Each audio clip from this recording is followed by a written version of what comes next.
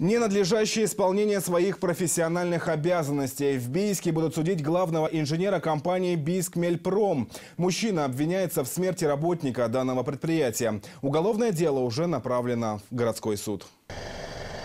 В ходе предварительного следствия было установлено, что в гаражном боксе бийского предприятия воспламенилась смесь природного газа и произошел взрыв баллона, который был установлен на автомобиле.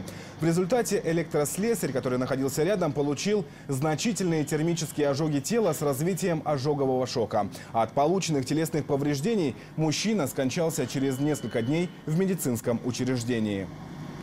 По версии следствия, травмирование работника произошло а, вследствие ненадлежащего исполнения главным инженером предприятия своих профессиональных обязанностей, а, что выразилось в непринятии мер, а, направленных на запрет эксплуатировать автотранспортное средство с установленным на него газовым баллоном с истекшим сроком службы и не прошедшим очередное освидетельствование на соответствие требованиям безопасности.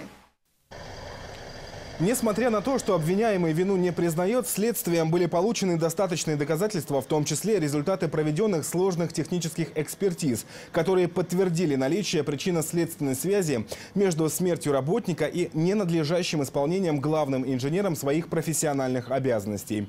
В настоящее время уголовное дело с утвержденным обвинительным заключением прокурора направлено в суд для рассмотрения по существу.